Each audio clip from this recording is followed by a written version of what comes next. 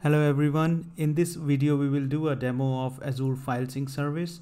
Azure File Sync Service allows us the synchronization of uh, on-premises file servers with Azure files uh, which are supported by storage accounts. It has uh, several benefits. It can be used as a transition tool to move file server data to the cloud but also as a synchronization tool to keep more than one server synchronized without the use of DFS or any other replication technology. The process of setting up Azure File Sync comprises of three steps.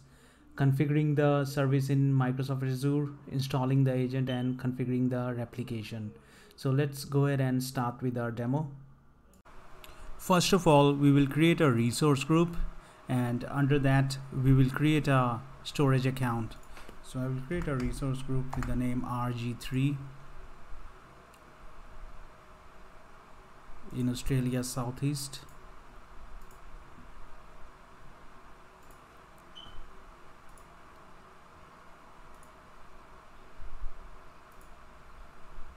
Resource group has been created and now I will create a storage account with a file share on in it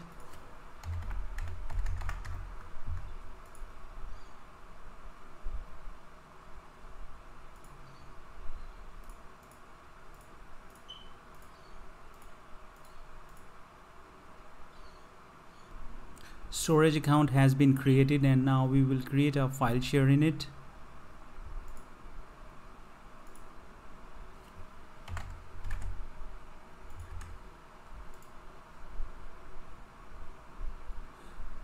Now our storage account is created and we have a file share in it. Now we will create a file sync service in our resource group.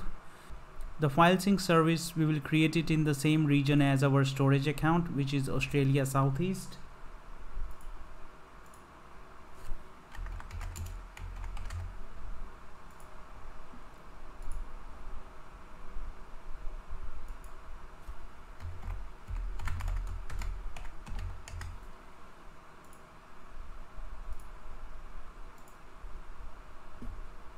so now our file sync is being created.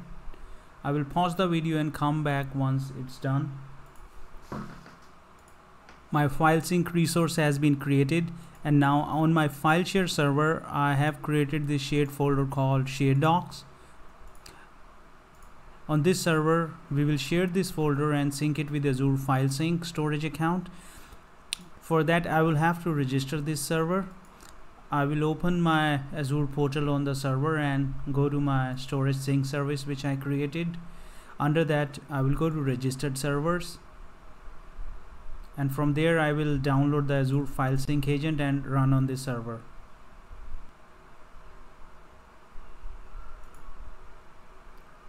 My server is Windows 2012 R2 so I will select the third option for Windows 2012 R2 servers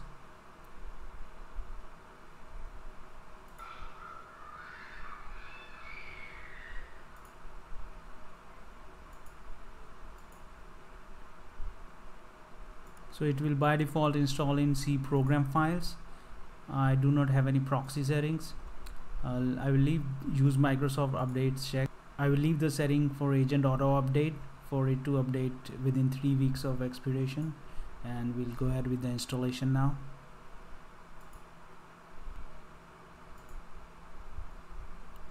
Installation is finished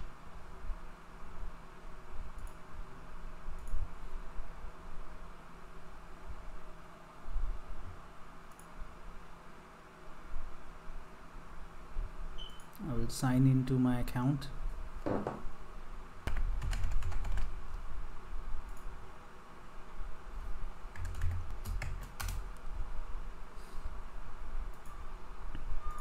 I will select my subscription.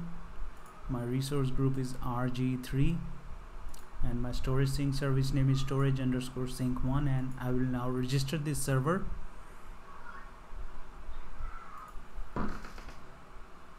now the server has been registered and uh, we will go to Azure portal and it should show us in registered servers. It is showing my server here and now we will create a sync group. So I'll go to sync groups.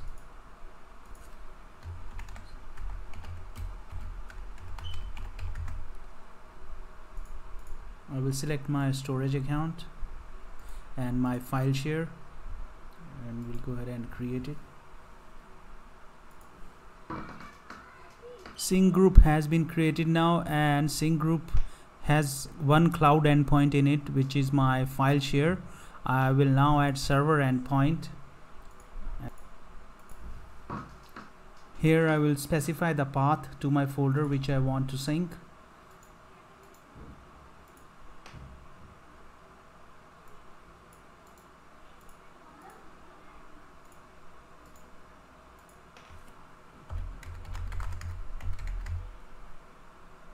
I will leave both cloud tiering and offline data transfer disabled for now and we'll go ahead and create it. The sync has been completed and if I go to my file share I could see that my file asda.txt which was on the server is showing up here.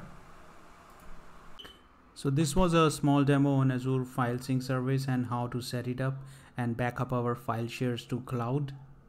Azure file sync provides uh, many benefits uh, such as especially in case of disaster recovery let's say we have a file share server which is synced to cloud using azure file sync service and if that goes down we can easily set up a new server and add it as an endpoint and it will get all the files down. Uh, even the storage account which we have on the cloud we can take a backup of that and we can recover to a previous state. Let's say if we have lost a file we can do a item level recovery as well of that file using cloud tiering we can move our old data to azure and our frequently accessed data will remain on the file servers. I hope this uh, video was informative and please uh, like and subscribe to my channel and i will see you in my next video. Bye bye